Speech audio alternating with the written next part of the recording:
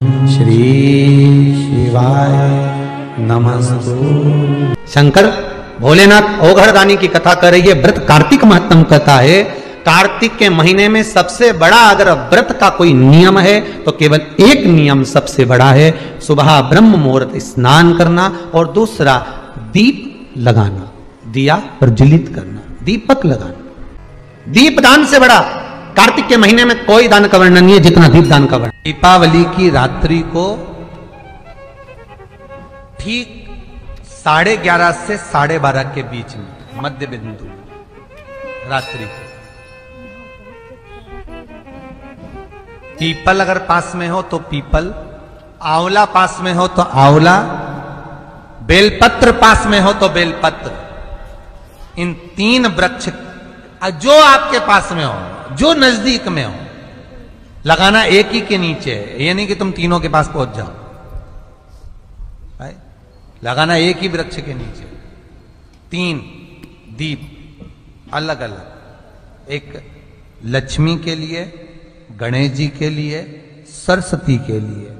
तीन दीप, घी के।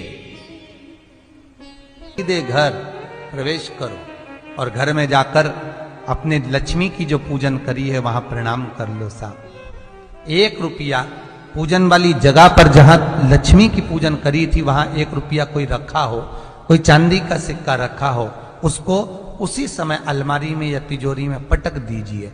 ज़िंदगी में कभी संपदा की कमी नहीं आ सकती। कितना भी कर्जा होगा, माता लक्ष्मी, गणेश और सरस्वती, भगवान कुबेरेश्वर महादेव, साल भर के अंदर ऐसा व्यापार खींचेंगे। कि तेरा कर्जा चुक जाएगा। दूसरी बार तुझे पर कर्जा होगा ही नहीं। बस इतना ज़रूर याद रखना कि घी का दिया और तेल का दिया, ये दोनों दीप दीपावली के दिन रात्रि को अखंड जलना चाहिए। एक रात्रि अखंड जले। घी का दीप जहाँ लक्ष्मी जी रखी है, आपने जिन कलदार की पूजन करी है, उनके सीधे हाथ पर। और तेल का दीप उल्टे हाथ पर रखा होना चाहिए। लक्ष्मी जी के, आपके नहीं। वही रोली, मौली, चंदन, अबीर गुलाल, मेहंदी, पीले अक्षत, चावल, सुंदर सुंदर पुष्प, इत्र, सुंदर माला, कमल के फूल, कमल गट्टे, पाँच या सात अमरबेल के टुकड़े, सात या पाँच, हल्दी की गांठ, पाँच या सात, हरे मूंग धने में जो खड़ा धना होता है, उस धने के साथ में थोड़ा सा गुड़ गुड़ की बाटी ये भी एक कटोरी में भरकर जो भगवान के सामने रखे थे, उसमें से एक दिया, जिस अलमारी में, जिस तिजोरी में तुमने लक्ष्मी रखी है, उसी अलमारी, उसी तिजोरी के ऊपर उस दिए को रख दीजिए या उसके साइड में रख दीजिए। चार दिए में से एक दिया मंदिर में रखिए एक दिया पानी के स्थान पर रखिए एक दिया तुलसी जी के क्यारे पर रखिए और एक दीप घर के हॉल में रखिए महाराज, ऐसे पाँच दियों का स्मरण करते हुए माता लक्ष्मी का स्मरण करिए। द्वार पर थोड़ा सा पीला चावल डालकर अंदर की ओर प्रवेश कर लीजिए। बस, ये पाँच दिवसीय पूजन, जो आप माता लक्ष्मी की सुंदर शिव लक्ष्मी पूजन का स्मरण कर रहे थे, वो आज विराम की ओर है। आप सभी ने अपने अपने घरों में दीपमाली का दीप उत्सव इस शिवलिंग का स्मरण आप करेंगे। बीच में जो एक मोटी सी लाइन होती है, इसको अशोक सुंदरी कहते हैं। सब लोग दर्शन करें।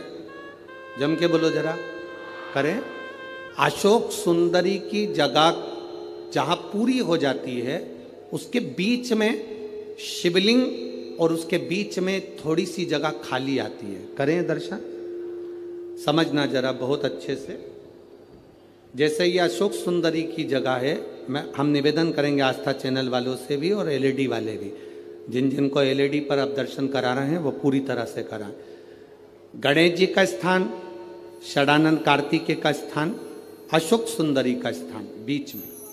अशोक सुंदरी का जो स्थान पूरा हो जाता है, वहाँ से लेकर शिवलिंग के बीच में खाली जगह आती है। करें दर्शन आप लोगों ने? खाली जगह आती है।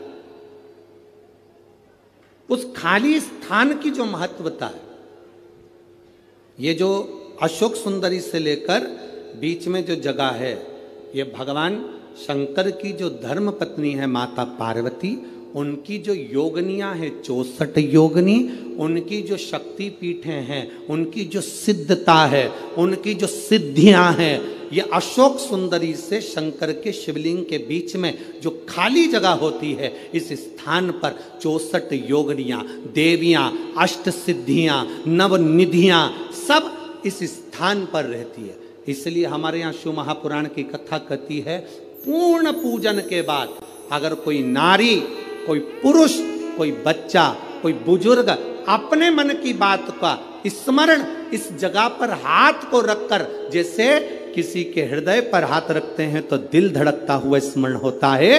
उसी तरह यहाँ स्पर्श करेंगे और स्पर्श कर कर जब अपने मन की बात करते हैं तो देव अधिदेव महादेव नंदी के साथ आकर प्रदोष के दिन कार्य की सिद्धता पूर्ण कर उस स्थान की मूलता होती वो स्थान।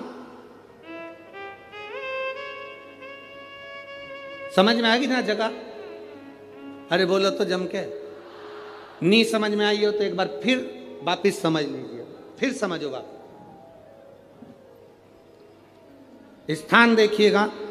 अपने को भगवान की कृपा से यहाँ नागपुर में शंकर जी का शिवलिंग कोई ने कागज़ का बनाकर यहाँ जो भेजा, ये काम बाबा की कृपा से आप लोगों के स्मरण के लिए आया। देखिए जरा गणेश जी का स्थान, कार्तिकेय जी का स्थान।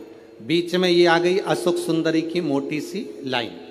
अशोक सुंदरी की लाइन जहाँ खड़ी हो खत्म होती है, वहाँ से जो शिवलिंग रखा है, इसके बीच की जो जगह है ये जो बीच में अशोक सुंदरी के स्थान से लेकर शिवलिंग के स्थान के बीच में जो खाली जगह है, ये चौसठ योगनियाँ, अष्ट सिद्धियाँ नवनिधियाँ सब कुछ मेरे देव अधिदेव महादेव ने माता पार्वती को अपने चित्तवृत्ति के साथ यहाँ अनुमति प्रदान कर रखी है। वहाँ का स्पर्श, वहाँ का मात्र स्पर्श और हमारे दिल की बात शंभो। श्री शिवाय नमस्तुभ्यम दर्शकों, हर हर महादेव दर्शकों, स्वागत है आपका अपने यूट्यूब चैनल में। दीपावली आपकी आने वाली है। दीपावली के दिन जो आपको इस वीडियो में पूजनी पंडित जी उपाय बताए हैं, आप इस विशेष उपाय को ज़रूर करिएगा। इस उपाय से आपके घर में कभी संपदा की कमी नहीं होगी। दर्शकों, दीपावली का मात्र एक दिन ऐसा होता है, जिस दिन यदि आप पूरी सच्ची श्रद्धा भाव से माता लक्ष्मी की पूजा करते हैं तो आपके घर पूरे साल धन दौलत की कभी भी कमी नहीं होगी। मात्र एक दिन ऐसा ही होता है जिसे हम लक्ष्मी को प्रसन्न करके अपने घर में सुख समृद्धि, शांति और लक्ष्मी की कृपा सदैव बनाए रखेंगे। तो दर्शकों, पहला उपाय आपको दीपावली के दिन करना है। दूसरा उपाय है, यदि आपकी कोई विशेष मनोकामना है, बहुत दिनों से पूरी नहीं हो रही है तो आप एक बार इस विशेष उपाय को ज़रूर करिएगा। जैसे आप महादेव के मंदिर में जाते हैं, अपने घर से जल लेके तो आप अपने घर से एक लोटा जल लेके लेके जाएँ धूप, दीप, नैवेद्य शहद दूध, दही, अक्षत, जिस तरह से आप महादेव की पूजा करने जाते हैं, सभी सामग्रियों को लेके चले जाइएगा। साथ में आप एक घी का दीपक लेके जाएँ। सर्वप्रथम दर्श को आप महादेव की शिवलिंग पर एक लोटा जल समर्पित करिएगा। उसके बाद जिस तरह से आप महादेव की शिवलिंग पर बेलपत्र चढ़ाते हैं समीप पत्र चढ़ाते हैं, चंदन लगाते हैं, पुष्प समर्पित करते हैं उसी तरह से आपको संपूर्ण सामग्री महादेव के ऊपर समर्पित कर देनी है। जब आपकी संपूर्ण सामग्री समर्पित हो चुकी हो तो आप एक घी का दीपक उस स्थान पे प्रज्वलित करिएगा। उसके बाद दर्शकों, देवी अशोक सुंदरी के स्थान से जो आगे थोड़ा सा खाली स्थान होता है, उस स्थान पे आप अपने सीधे हाथ को स्पर्श कराइएगा, यानी आप अपने सीधे हाथ को रखें और अपने दिल से कामना करते हुए आपकी जो भी मनोकामना हो, जो भी आपकी विश्व हो, उसके लिए आप महादेव से प्रार्थना करिएगा। यह उपाय दर्शकों आप किसी भी दिन कर सकते हैं प्रदोष काल में कर सकते हैं, सुबह के वक्त भी कर सकते हैं। आप किसी कार्य को लेके बहुत परेशान हो चुके हैं थक चुके हैं तो एक बार आप इस विशेष उपाय को ज़रूर करिएगा। देवी अशोक सुंदरी का स्थान दर्शकों, हम आपको कई वीडियो में बता चुके हैं।